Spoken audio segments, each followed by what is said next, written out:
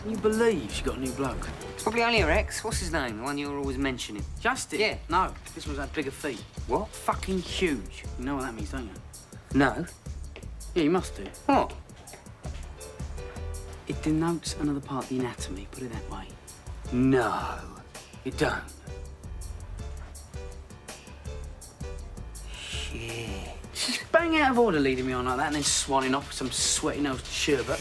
Well, you had your chance with Cherry, mate, and you blew it. Rub it in, why don't you? Mozzarella.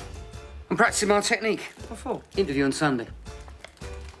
What interview? Where? Paolo's Pizzeria in Pimlico. Do what?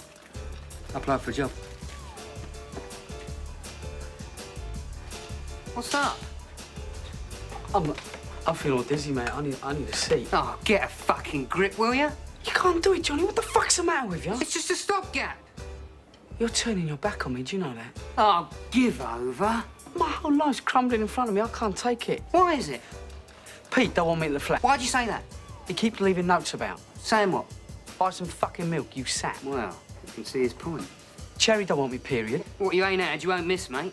Well, that's exactly it. I do miss. I miss hanging about with her. Ah, so you want to get jiggy with her now, is it? Hmm?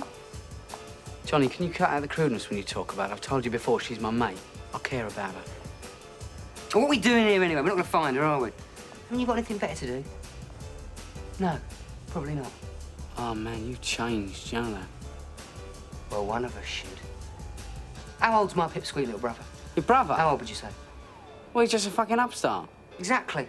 He's got his whole life mapped out. He's even got a flaming pension. I'm just trying to help you avoid the traps. I mean, you should be thanking me, mate.